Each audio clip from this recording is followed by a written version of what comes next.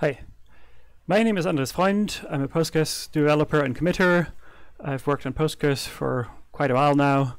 I, at the moment, work at Microsoft, uh, focusing on open source Postgres uh, and trying to make it better. And today I want to talk about why I think we could make Postgres better if we added asynchronous I.O. support uh, to PostgreSQL. Uh, and why would you want that? One angle to that is that uh, currently uh, the way we do I/O, and particularly the way we do buffered I/O, is a major limitation. And why do you think that? Like one angle to look uh, at is that it is a performance uh, limitation, and that's not the only one, but I think it's an important one. For example, uh, if we just look at the sequential scan of a large table, in this uh, case, it's an uh, 80 gigabyte table. Um, we can see that we spend a lot of time doing I/O, over uh, eight workers, we spend uh, 300 seconds, and we end up with a total query execution time uh, of like 46 seconds. And during that, we actually don't ever reach uh, the full throughput of the drive, which is like something on uh, the order of 3.2 gigabytes per second, even though we have uh, like a lot of workers doing, available to do the work. And why could that be? I think one good way to look at that is that uh, as a CPU profile, because it turns out that most of those processes are actually pretty busy on a, a CPU usage-wise. And a profile shows us that we spend a lot of the time doing uh, in copy user enhanced. And what that function does is, is, is it copies, or in this case, it copies data from the kernel page cache into the buffer provided to like uh, to in the read system call um, provided to the read system call. And that's what we are doing with the CPU time. We're copying the data from the page cache in the uh, case, even in the case where the data is actually not in the page cache. Even then, we spend a lot of time uh, doing that kind of work. And if you overall want to look at uh, like how many, much time do we spend in user space and how much time we spend uh, in kernel space, I've here used a perf uh, to look at that, one with, with the number of cycles they, as they are executed, and that's affected by things like turbo boost and like changes in frequency in ones uh, in a way that should uh, avoid that. You can see that uh, around half the time thereon it will then do an I/O to the drive, like an I/O request, and the drive will use DMA direct memory access to copy uh, the data from the drive directly into RAM. It'll not go through the CPU. It'll instead like talk to the memory controller to like transfer the data without having to go each byte through the CPU. And that makes it much faster because the CPU can do other things uh, at the time. And once it's done, the drive will uh, raise an interrupt, and uh, the operating system will then know that, hey, the, the work that the drive now signals is completed uh, is finished, and now I can mark the page cache content is valid, and from there on, will then go on and copy the data, the operating system, uh, to into the buffers that the read system call has been provided, and it has to be a bit uh, smarter memcopy with uh, extra safeguards that prevent us from like overwriting parts of the kernel memory or something like that. That's why you don't see like a straight memcopy, but like most of the time is spent just basically doing the work that memcopy also does. And once that copy is complete, which in which time the CPU will be fully busy, the syscall uh, can return and the application now has valid data. But and during all that time, the application is uh, blocked. Comparing that to uh, the direct I/O case, and direct I/O here means uh, that we ask the operating system to bypass uh, various like all buffering basically as much as possible and go straight to the drive as much as it can, uh, we can see that the system call, there's no page cache that it has to look data from, so it can di directly issue the I.O. to the drive, and then the drive, and that's the important part, can again do DMA, but this time it doesn't do DMA into the page cache, but directly into the user space buffers that were provided to the system call as parameters. Which means that this time we don't need to ever do that uh, memory copy like operation. To summarize, direct I/O basically is I/O where there's no buffering in the kernel, and where DMA often is possible between the user space buffers provided to read and write and so on, and uh, the storage devices. And that the user space has a lot more control, but also a lot more responsibilities when uh, using DirectIO. There's no read ahead, there's no buffered writes, and read and write are synchronous. And synchronous use is so slow for most purposes due to the latency that it's basically unusable uh, for something like Postgres. So because we cannot do it synchronously, we have to do it asynchronously, meaning AIO. Um, there's other parts of the system where like the uh, we have throughput problems, and that some of that is in the background writer, which often can't keep up and not just because it has some algorithmic issues, which it has, but also just because of uh, the number of outstanding writes cannot easily be done given the way we do IO currently. Uh, checkpointer often can't keep up as well, which is quite bad because like in a lot of workloads, all the writes have to like are going to be done by checkpointer, and delaying checkpointers uh, can like lead to much more disk space being used for the WAL and so on. So that's a problem.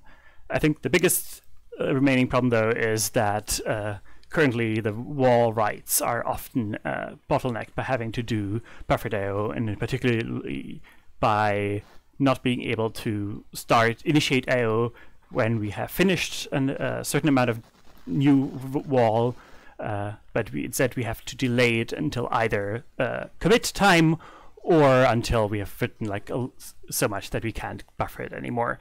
And that means that we start the IO much later, and thus it also obviously finishes much later, and that leads to a lot of throughput issues.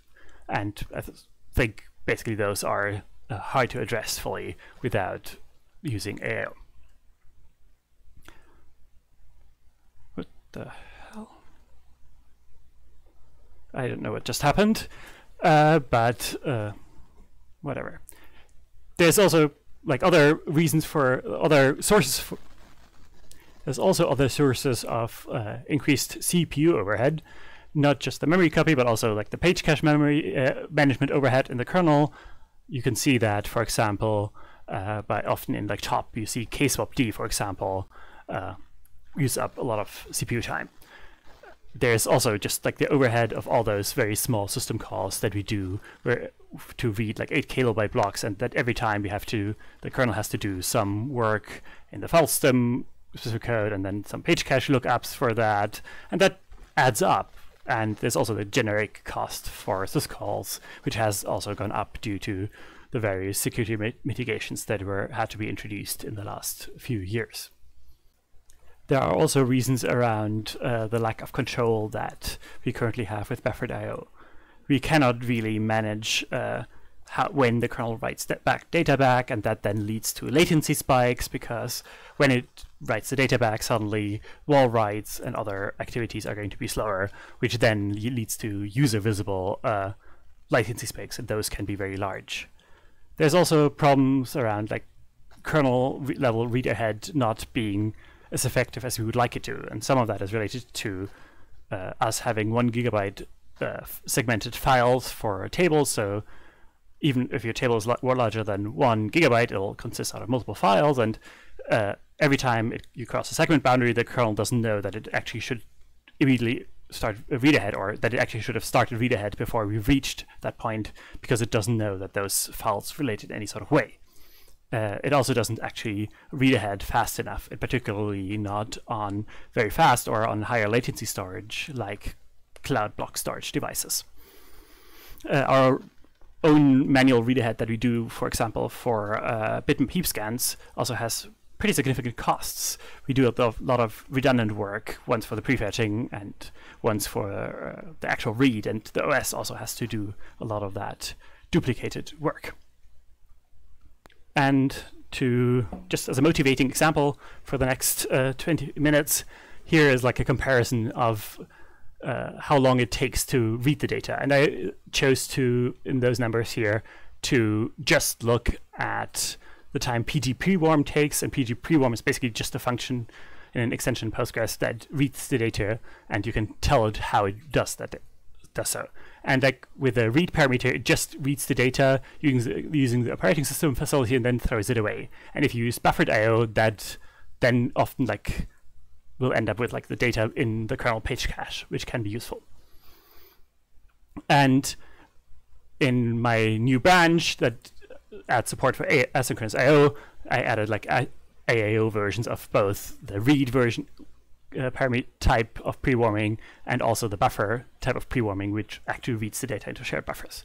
And you can see that if you just want to read the data, like, use read in master, we it takes like 35 seconds, and we use 80% of the CPU, and we uh, like see 2.5 gigabytes a second of I/O, even though the drive can actually do rough like nearly 3.2 gigabytes a second. And if you compare that to the AIO version, we can see that there, it takes a considerably shorter amount of time and uses less CPU, even though it takes a shorter amount of time and has a higher uh, bandwidth. It's not quite the capable, full capability of the drive. There's a few uh, optimizations we would need to reach fully reach that, but it's getting pretty close. And the difference is actually a bit starker if you look at uh, doing using the buffer that is like reading it into Postgres a shared buffer because now we need to have the CPU time to actually do the management of Postgres as shared buffers. There's some optimizations we could do there too, but that implies overhead, and we need to have time, like CPU time, to do that. And if we spend all the time doing uh, memory copies from the kernel in, in, during the read system call, then we don't necessarily have that. And that so that's why we see uh, the total time increase and uh, CPU time increase, and importantly, the bandwidth to be much slower. And just there's just not enough CPU time to execute all those read calls. Comparing that to the asynchronous I/O version, here we can see that um, we take a bit more time than when using read, but we can uh, still nearly saturate the drive. There is some uh, degradation performance, but it's still much better than either the read or the buffer version for master, and we we aren't fully utilize uh, bottlenecking. Uh, full, we are not. We still have CPU cycles left, so I think that's a pretty good motivating example for wanting to change something.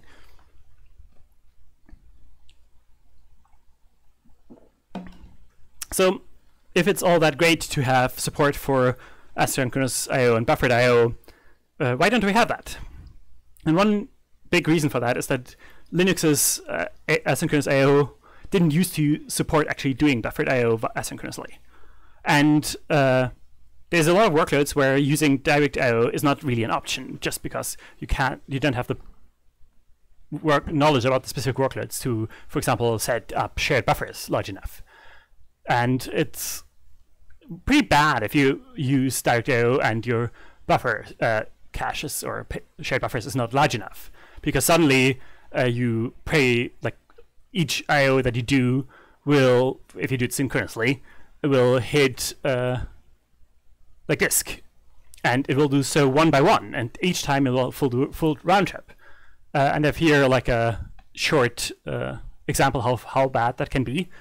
And if you can think back of my earlier example where using direct I/O plus AIO to do the reads, uh, PG prewarm we saw that it was taking like 27 seconds, I think. And if we do like the synchronous version using uh, uh, direct I/O, because we the parameter here is read and not read AIO, we can see that it suddenly takes 160 seconds, much, much slower than any of the other variants. And that's because we don't actually have any prefetching and we, we, that we normally get from the operating system, and we're not using AIO, so we don't get any prefetching from that and we can see that the throughput is drastically lower. And that all the reads are very small, so, there's no combining of requests. So, so it's pretty bad. So the consequences of not using direct I/O correctly can be pretty bad. And the consequence, for example, that can be because we the implementation sucks, or it can be that nobody has configured shared buffers, so it's shared buffers 64 megabytes and the data is actually one terabyte large obviously that's not going to work well, but it can kind of work okay if uh, we rely on buffered I/O because then the kernel will like save our butt to some degree. And there's other reasons, and one is like it's a pretty large project to add it, and most people are not insane enough to try to fix uh, like to add support for that because like I've spent uh, like a many weeks working on it, and uh, it's a lot of work, and it's unclear whether it's realistic to get into Postgres. It also adds a fair bit of post uh, complexity to Postgres. We currently, for example, don't have all the necessary read-ahead logic to do that for sequential scans and all that. But if we want to have uh, uh, direct I/O support, we need all that. So that's, I think, pretty okay reasons to not have it yet. But I think the time is well past where we should add support for it. Uh, so what has changed basically to make it viable to add add it now? Uh, for me, the big reason is that Linux has gotten a new asynchronous I/O interface, and that interface is called IO underscore uring, and it's been added to the kernel in version 5.1, and it's a fairly generic interface. It like there's a lot of different I/O operations uh, that are supported, many more than uh, were previously supported uh, for the old AIO interface. One can do like network I/O, one can do open close files and uh, stuff like that uh, asynchronously uh, without not just like file IO. I just noticed a missing word here. Uh, the way it works is that it basically in shared memory uh, that is in memory that's shared between kernel and uh, user space there's two ring buffers one for submitting ios to the kernel and one uh, for getting uh, completion events for uh, those ios that we submitted from the kernel back. And basically each of those are a single producer single consumer ring buffers. And the nice thing is that single producer single consumer ring buffers can actually do be done without like atomic operation overhead and it also is very nice because we can submit a lot of different IOs without doing a system call. We can stage them into that queue and then do the system call to actually let the kernel know, please process them now. And then we can get all of those back, which then saves us from the overhead of doing all that many system calls, which have, as I mentioned before, were always uh, expensive, but added got more expensive for the security mitigations. And it can also make operations asynchronous that aren't internally in the kernel actually fully asynchronous uh, by executing in the background in a kernel thread. And that means that the benefit of that is that the that it would the number of operations it can expose is much larger because edge cases and uh, so on can just be uh, punted into that into those background kernel threads. Whereas the majority of operations can do like be done fully asynchronously without needing a dedicated uh, uh, thread in the kernel doing the work. The way it, as I mentioned, there's like basically these two ring buffers, and like one ring buffer has the submissions, and like the application basically just when it wants to do additional I/O, it will can add uh, the uh, submission queue entry, and I'll get into what exactly that contains in a second, and uh, once it has done that, it can like update the metadata basically of the queue saying, hey, this is a valid entry. And uh, then from then on, the kernel knows, hey, I can process data up to that. And when the kernel uh, processes data, it will basically read like the other end of the queue and uh, it will read the entry, like transfer it into its own internal state, and then it can advance uh, the tail to mark that the to tell user space that hey, you can reuse this entry in the ring buffer now. Once it has done that, it can asynchronously perform that I/O. That can be buffered I/O, that can be direct I/O, that can be various other things. It can be like the network and so on. And once the that has completed, and during this time the application is free to do other things, submit more I/O, whatever. Uh, once, but and once the uh, IO uring has detected, hey, the operation has completed, and that can be due to interrupts, that can be due to those kernel threads uh, finishing their work, uh, it will put like a completion event into the, the equivalent queue that to the user space, and it's basically just the same process that we had earlier, where it like puts in a queue and into a queue entry, and the user space basically just does what the uh, IO uring earlier did. It updates the tail after getting the data out. What do those uh, submission queue entries actually look like? It's basically a pretty simple C struct that we just write into memory, and there's an opcode, and then there's parameters for that opcode. And the opcodes, various of the opcodes are like stuff like reading data, writing data, f-syncing, and doing network I/O, waiting for readiness of network uh, sockets, and so on. The details aren't actually that interesting. So before we go on how I'm using this in my prototype to uh, to add AIO support, I think one it's important to figure out what are the important design constraints for like a real uh, real production level uh, support for AIO in Postgres. And I think the first one uh, is that we continue, as I mentioned, we need to continue to support buffered IO. Uh, the second one is that we need to abstract away the platform uh, specific details uh, because we cannot have like leak all that across all of Postgres we, because we start I/O in lots of parts. We do it during DDL, we doing do it query execution, we doing do it doing backup, we do it doing checkpointing. If all of those uh, places know about uh, all the platform specific stuff, we are going to be a, it will be a mess. So we all of that needs to be able to be hidden in a fairly small place. Uh, and one other thing, and that even though it might seem like a implementation detail, I think it's a pretty big design constraint is that we need to be able to do uh, cross-process asynchronous I/O. And what I mean by that is that one uh, process needs to be able to start a, a, a number of a, asynchronous requests, and other processes need to be able to process the completions if the originating issuing backend isn't doing so. And the reason for that is that it's otherwise extremely easy to get into deadlocks. And while those deadlocks could be avoided other ways, they would also reduce the be potential benefits very, very substantially.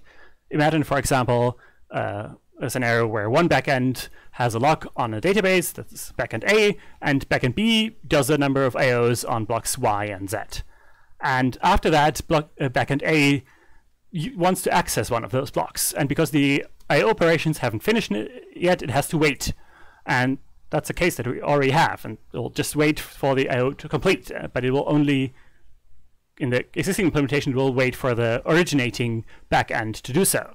But because it's now asynchronously, uh, done asynchronously, the originating backend is now able to do other work. For example, it could wait on a lock, in this case, that, that A already has, in which case we would have a cl pretty classical deadlock and there wouldn't be any progress anymore because nobody would see the completion event for the AIO because the one the backend that issued the AIO is busy waiting for a lock.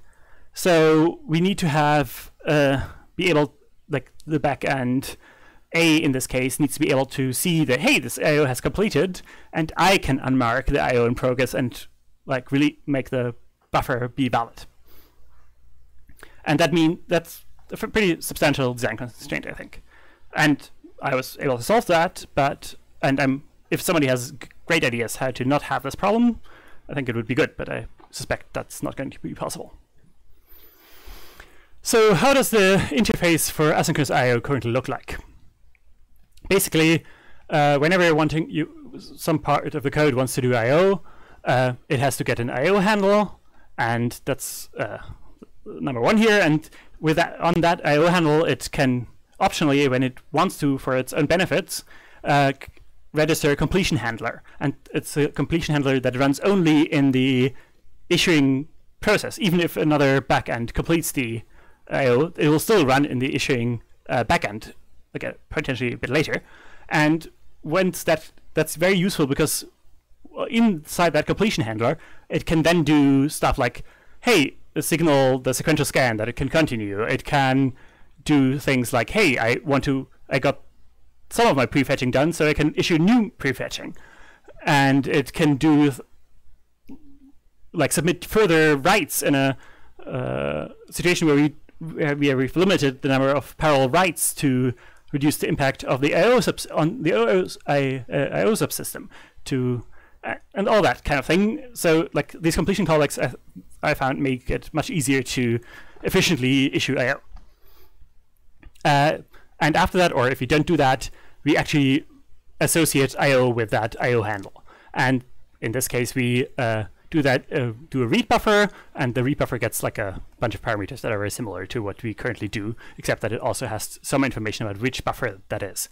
And it's important to note that when that the start read buffer associates an event with the AIO that basically can complete uh, the read buffer operation in any other backend that if that uh, if it receives the completion or if it has to wait for that completion.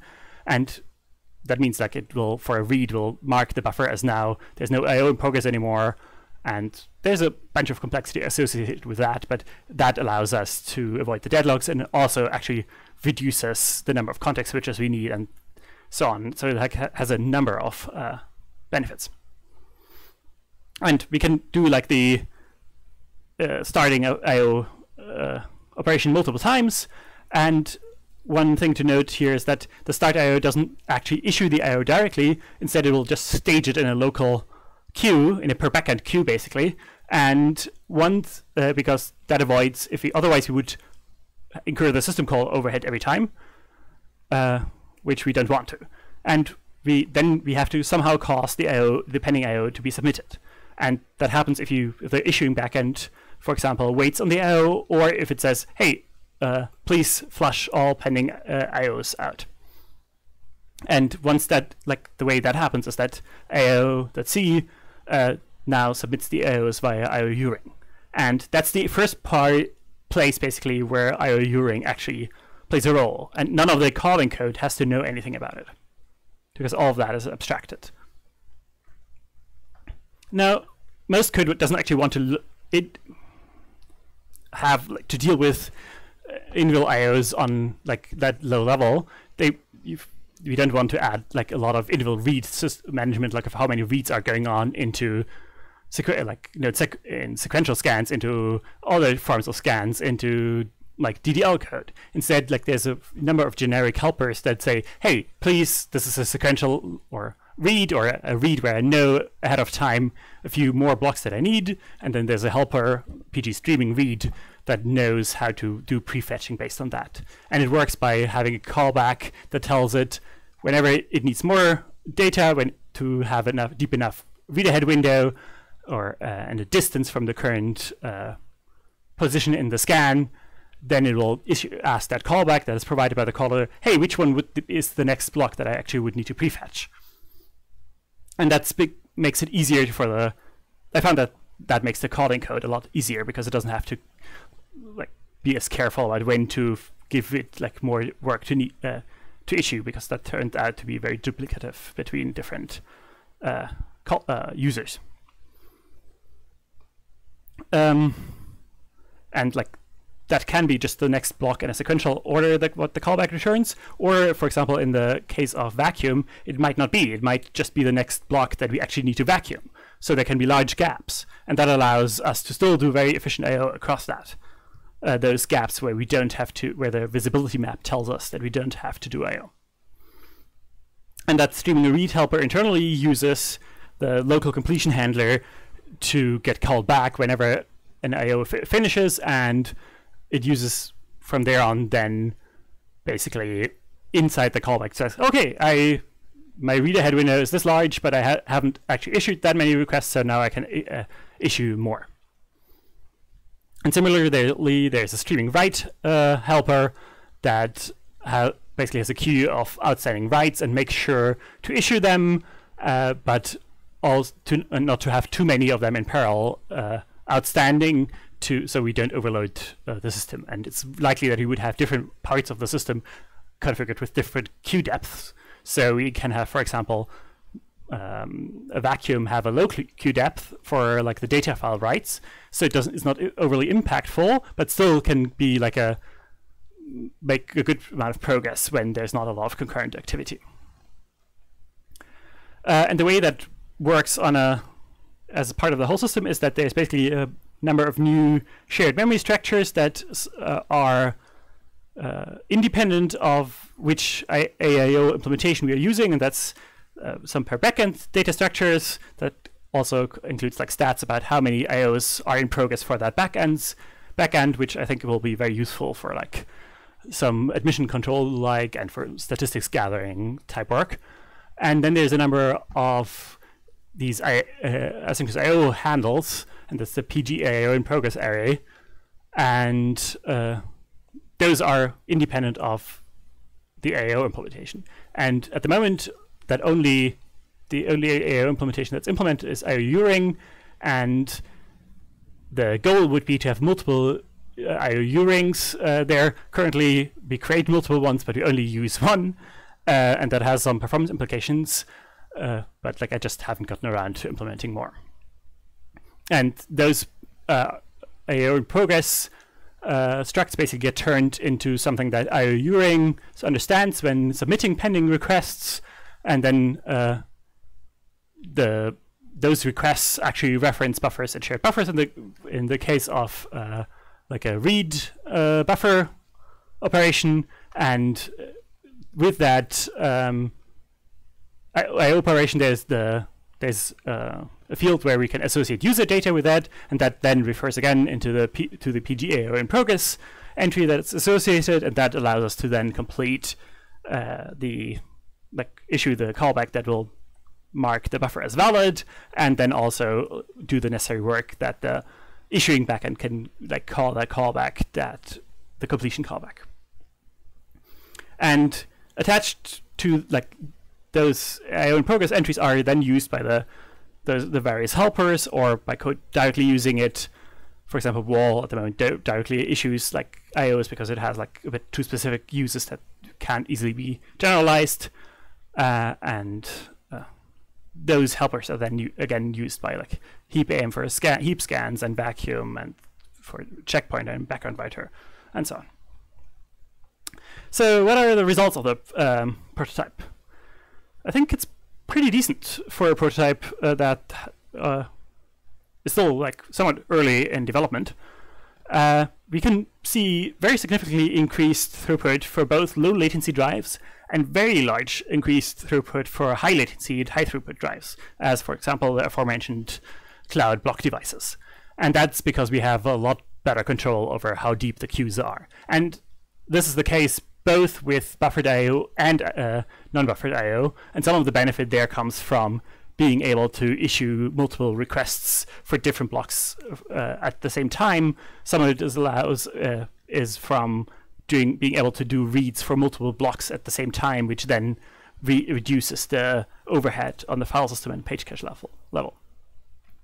For like the biggest benefit beneficiary, I think are is analytic style queries because they do often read a lot of data.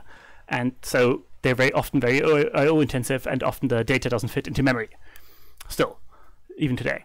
And uh, I did, for example, run uh, all the TPC-H uh, queries on my workstation um, and on like using scale 100 and using different amounts of available memory, they were uh, unless I ha- used like ridiculously small small amounts of memory, uh, every time uh, the both the buffered and the asynchronous uh, direct I/O uh, variants were faster than the current implementation, which I think is a pretty good result. There's some edge cases where that's not the case, in particularly, or where the benefits reduce, and that's when using a lot of, wor of workers for parallel query execution, and that's because of the one U-ring that we currently have. And then there's contention on locks protecting that U-ring, and that's just because I haven't gotten around to fixing that. There's also some other cases if you don't vacuum uh, the data before running queries, then like hot pruning and uh, uh, hint bits and so on can cause problems because the ring buffers used in sequential scans and vacuum don't currently use uh, AIO yet. So there can be like more synchronous writes. Sometimes uh, background writer fixes that, especially if like one makes it more aggressive, but it's a problem that we have to fix. But it's again, I think, not a fundamental issue. It's just something that needs to be done.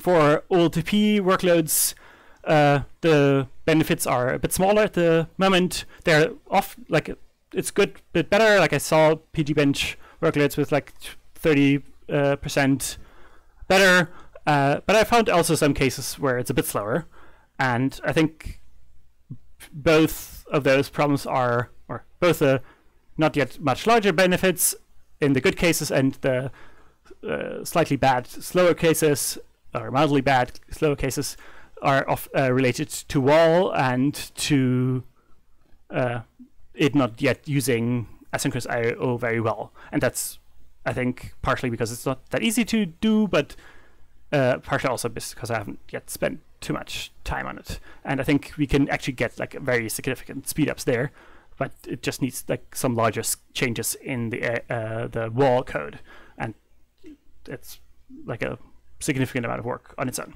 But I think it's unrealistic to add like to get this committed without those improvements. There's also a lot of places that should do better prefetching.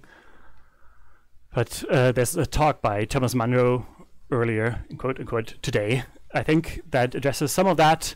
Uh, I assume I haven't yet seen the slides or heard, heard his talk because it's not yet, hasn't yet happened in my timeline. Uh, vacuum is also considerably faster for the first, uh, for the heap scan because that uses the prefetching logic.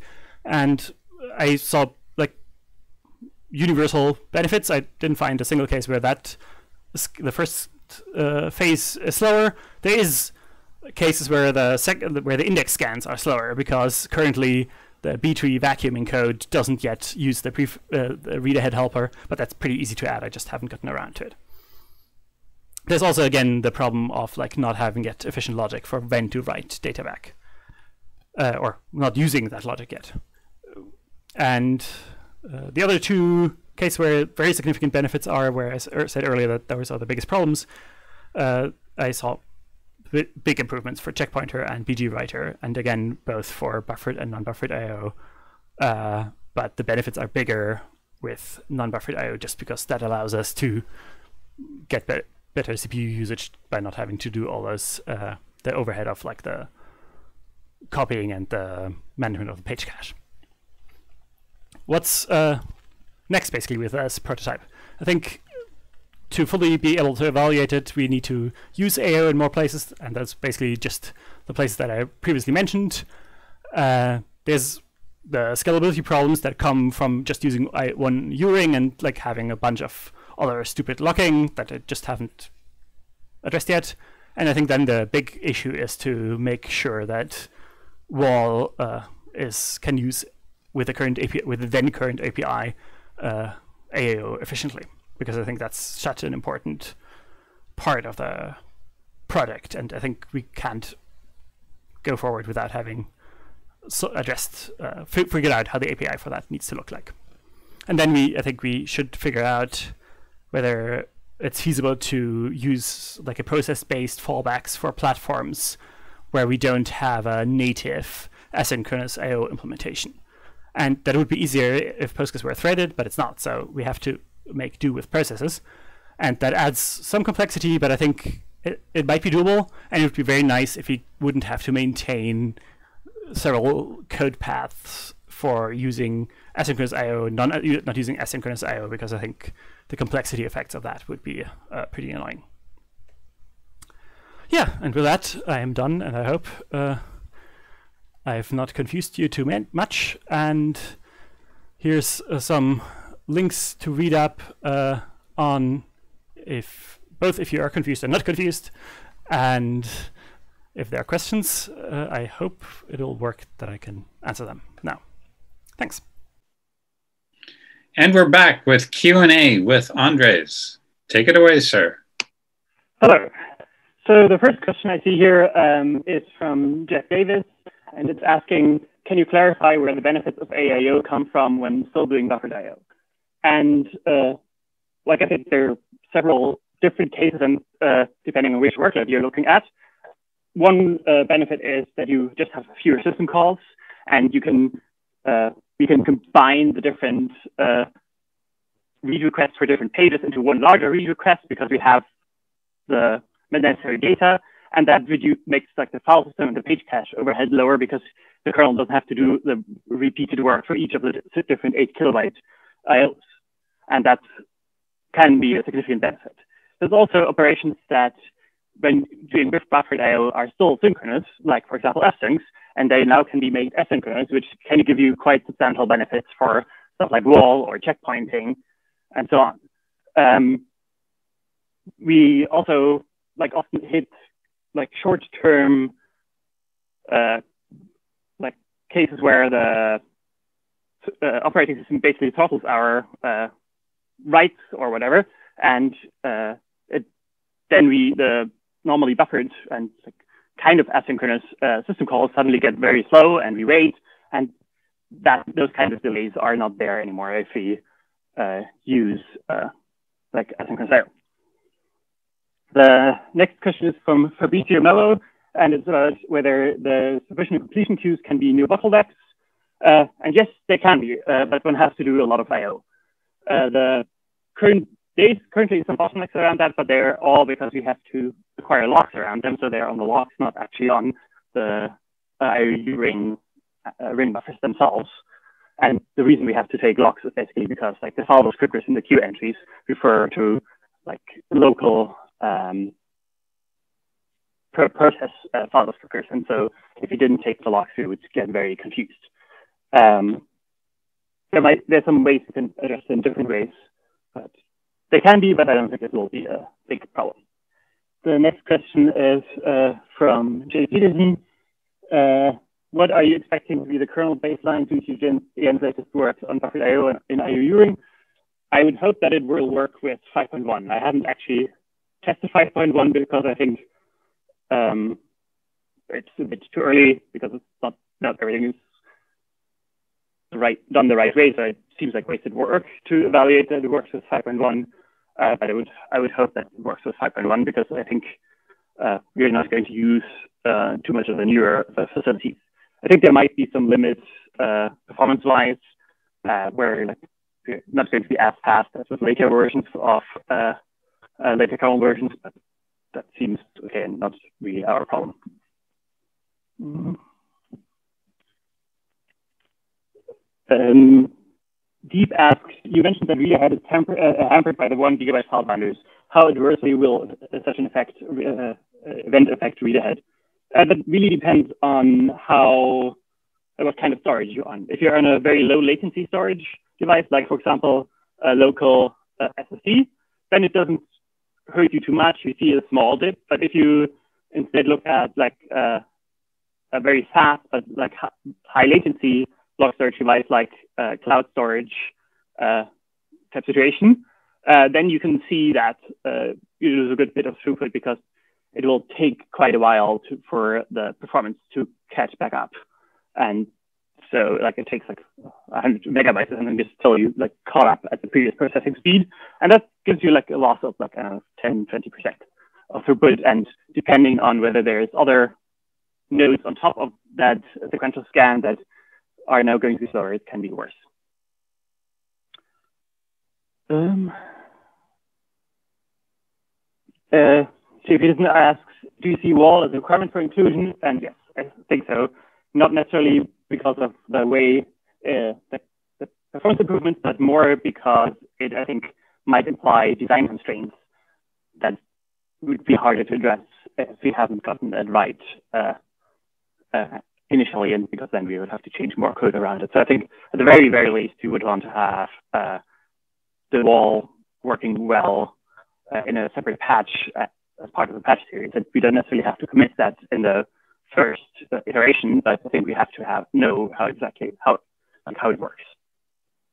And Jeff asks, how did you solve the AIO across processes issue?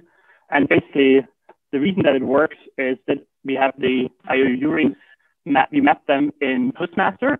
So every different process has access to the completion ring.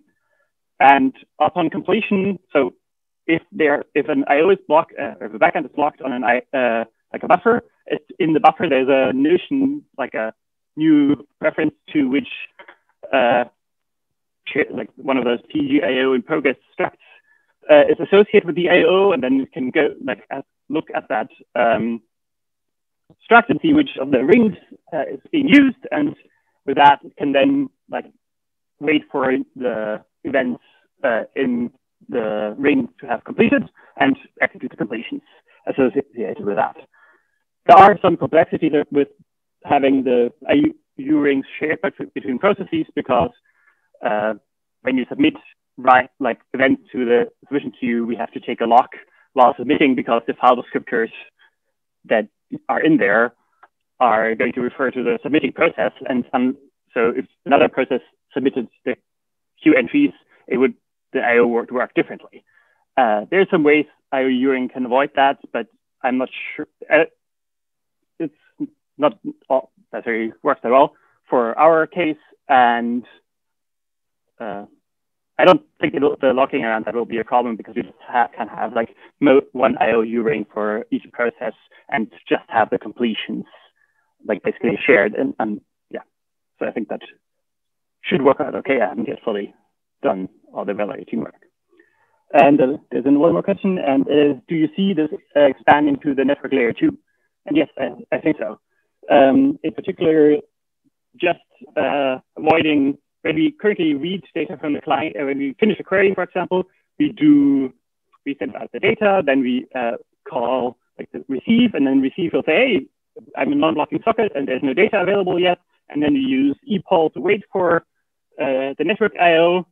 And if you can combine all of that work into one system call, we actually save a lot of uh, CPU cycles and context switches. And for transactional workloads, that uh, like reduces the overhead quite substantially. I think I've very little done a tiny bit of prototyping to experiment with that, and I got it definitely isn't correct, so I didn't, didn't want to include the numbers. Uh, but I saw like pretty good speed up for pgbench uh, type, uh, like read-only workload. And I think that's it for the questions now. Thank you, everyone. Thank you, Andres. Goodbye.